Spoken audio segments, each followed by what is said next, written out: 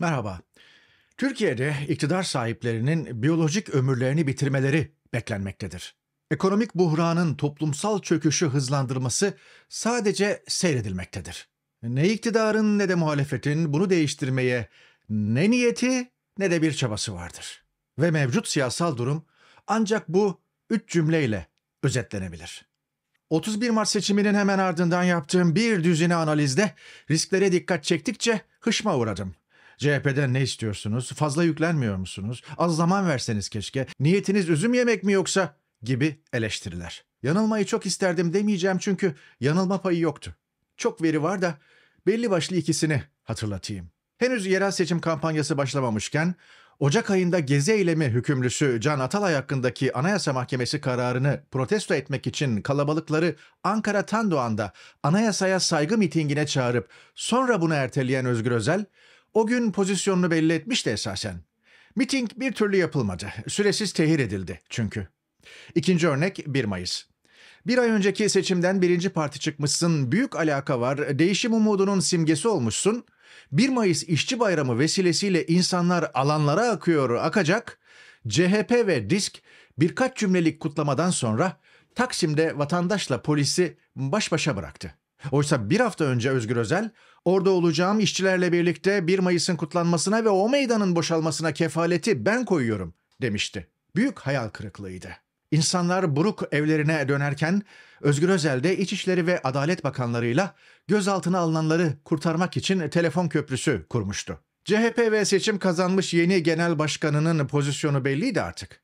Sonrası çorap söküğü gibi geldi ve her yeni gelişme ya da fotoğraf bunu teyit etti. 15 Temmuz, Kıbrıs sorunu, Suriye meselesi, dış politika gibi konularda iktidarla birlikte tutum alma. İçeride ise Gezi'yi cemaate, cinayetleri MHP'ye bağlama gibi bir pozisyon. Özgür Özel açık oynuyor esasen. Tabanı bunu görmek istemedi, o başka. Şimdilerde bakıyorum önceki CHP'ye çok bindiriyorsunuz gibi tepkiler kesildi. Özgür Özel seçimden bu tarafa Erdoğan'la en az iki kez özel olarak görüştü. Defalarca da bir araya geldi. Farklı açılardan tespit edilmiş görüntüleri hepimiz seyrettik. Devlet Bahçeli Numan Kurtulmuş bile Erdoğan'ın karşısında böyle gevşemiyor. CHP liderinin onca yıllık siyasi tecrübeye rağmen Erdoğan'ı görünce karşı koyamadığı zaafları var. Kendini çabucak ele veriyor. Yüzünde hayranlıkla karışık göze girmeye çalışan ergen ifadesi hemen herkesi şaşırtıyor. CHP'nin servis ettiği Özgür Özel'i olayın merkezinde gösteren fotoğraflar da durumu kurtarmıyor. Ülke en azından Cumhuriyet tarihi boyunca böyle korkunç bir dönem yaşamadı. Pogromlara tanıklık etti, darbelerin devirdiği hükümetler öncekini silip tekrar yazdığı anayasalar gördü ama böylesini tecrübe etmedi.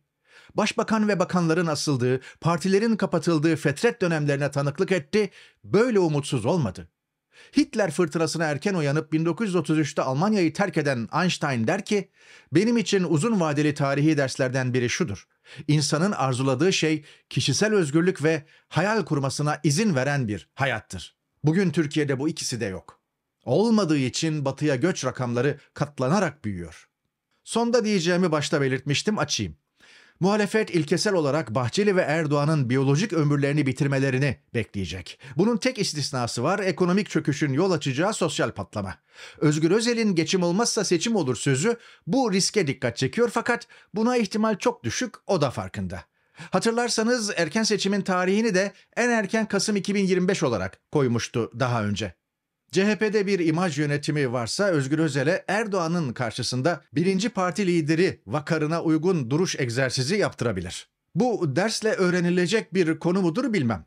Adrenalin kontrolüyle başlanabilir belki.